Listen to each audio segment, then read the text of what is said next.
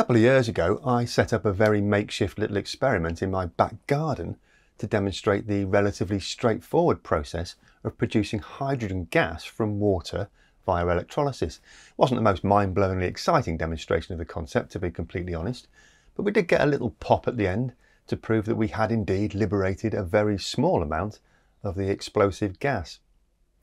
There was an awful lot of media hype around hydrogen at the time, and there still is today, to be honest.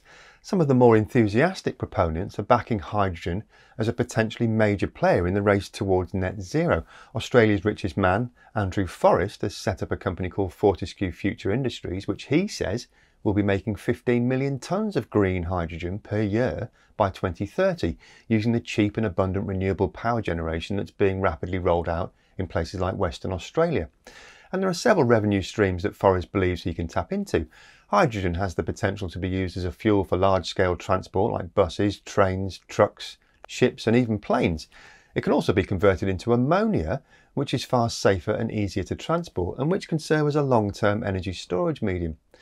About 180 million tonnes of ammonia is already produced globally today, and about 80% of that is used to make fertiliser for the world's vast agricultural industry. So there's definitely some useful stuff that can be done with hydrogen. In fact, the investment bank Goldman Sachs estimates that green hydrogen will become a $12 trillion industry by 2050. But according to a leading energy expert called Jan Rosenow, one of the things we shouldn't be using hydrogen for is replacing natural gas in domestic home heating systems. So why is that then?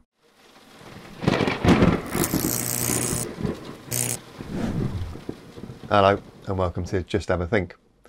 Jan Rosenow is Director of European Programmes at the Regulatory Assistance Project, which is a non-profit energy expert organisation working in Europe, the US, China and India. They cover a range of topics from the design and regulation of energy networks through to end products like building energy and transport electrification. And they take a holistic systems approach to establish best overall solutions rather than looking at single solutions in isolation. I caught up with Jan via Zoom recently to discuss his findings and to understand more about the implications for the future of home heating. The, the main reason why um, using green hydrogen, I'm talking about green hydrogen here, not, not blue, um, for heating um, uh, is challenging, is that it's terribly inefficient to do that um, because you convert electricity into hydrogen and then hydrogen into heat, you lose a lot of um, uh, you know, electricity along the way and energy the, along the way. In comparison to a heat pump, that's very important. So you need five to six times more electricity compared to a heat pump when you use green hydrogen for heating because of those efficiency losses. Jan spent the last two years combing through no fewer than 18 separate independent industry reports looking at the feasibility of hydrogen in domestic heating systems. Now, it'd be a pretty dull couple of minutes if I had to read out the title of every single one of them, especially as some of them are in German, which is definitely not my forte. But I'll leave a link to each of them in the YouTube comment section below this video. Every one of them pretty much rules out hydrogen as a major source of heating in buildings. The IEA projects that hydrogen would account for less than 2% of building decarbonisation by 2050, the IPCC's climate mitigation report shows pretty much zero hydrogen in its future space heating scenarios. McKinsey came to a very similar conclusion in their 2050 projections for space heating, and market analyst Michael Liebreich offers what he describes as the clean hydrogen ladder, showing all of the possible uses of hydrogen ranging from uncompetitive on the bottom rung all the way up to unavoidable on the top step. On this scale, hydrogen for domestic heating only makes it to rung number two. You could use so-called blue hydrogen instead. That's hydrogen derived by bombarding fossil gas with high pressure steam until it relinquishes its hydrogen content. The process also produces vast quantities of carbon dioxide, which would have to be captured and buried somewhere permanently, like under the North Sea, for example, which is a project currently under development today. But according to analysis by another industry expert, Mark Jacobson, deriving hydrogen this way uses more methane per unit of heat than simply burning the gas in the first place. So it's hardly a low carbon option. And if you want to know more detail about that study, I made a video all about it last year, which you can jump back to by clicking up there. Here in the UK, about 1.7 million old gas boilers are swapped out for new units every year. The existing heating industry argues that if they were all replaced with hydrogen ready boilers, more or less the same cost as a gas boiler, then in 10 years' time we'd have 17 million homes ready to receive hydrogen gas, which is about two thirds of the total housing stock in the UK. Hydrogen ready boilers are gas boilers. There's effectively no difference. If you buy a hydrogen ready boiler today, it'll be set up to run on fossil methane gas. In future, in theory, they could be converted to accommodate hydrogen gas by swapping out two or three small components. For boiler manufacturers, moving to mass production of other technologies like air source heat pumps, for example, would be disruptive and expensive. So naturally, those companies are strong advocates of hydrogen for home heating. The research papers highlighted several obstacles to this idea, though. The pipework in many homes is now extremely old and already quite leaky. Hydrogen is a very small molecule. In fact, it's the smallest and simplest molecule in nature, and it's notorious for its ability to escape from containment vessels. It also has the tendency to embrittle metal containment walls, making pipework and joints more prone to failure, with the consequent safety issues that this brings, especially when using a gas that's significantly more explosive than methane. And it's not quite as simple as switching straight from fossil gas to hydrogen in the main gas grid either. Um, and there's there's a cost also to converting the gas grid. It's not it's not it's not ready for hydrogen. I mean, the, the gas net operators will say um, that's you know large part of the gas grid now is ready because it has been um, retrofitted over the years. Um, but the, there's still a huge cost. I think there's a study by Element Energy suggesting I think it's 22 billion pounds or something of the cost of upgrading yeah. um, the gas grid. So there, yeah, there's still issues, even if we ignore the cost. There's still work that needs to be done to even technically make this this possible. In fact, all the reports that Jan Rosenow looked at found that it would be vastly more expensive in the long run to implement green hydrogen for home heating than it would be to install heat pumps at scale. European countries like Sweden, Germany, and Netherlands also have very strong lobby groups who have vested interests in maintaining the production of gas, or at least retaining the valuable pipeline network that's already in place for gas delivery. But despite that pressure, governments in those countries understand the overall cost benefits of heat pumps, and in general, they're focused far more on that technology for home heating than they are on hydrogen. There is no zero cost option for decarbonisation though. Accommodating millions of heat pumps would obviously require costly upgrades to electricity grids. But in relative terms, on the macro level, all the analysis that Jan Rosenow and his team looked at finds that it would be far costlier to build out five or six times more renewable power to compensate for the inefficiency of hydrogen production than it would be to upgrade the grid for heat pumps, which can deliver between three and five units of heat for every unit of electricity. I've got an air source heat pump providing heating and hot water for my 100 year old three bedroomed terrace style house with three adult occupants and it works beautifully. And contrary to some of the scare stories you might have read or watched in the media, I didn't have to rip out all my radiators and pipework or install costly underfloor heating. I changed one radiator and moved my fridge to make way for a water cylinder in a cupboard in my kitchen, and that was it.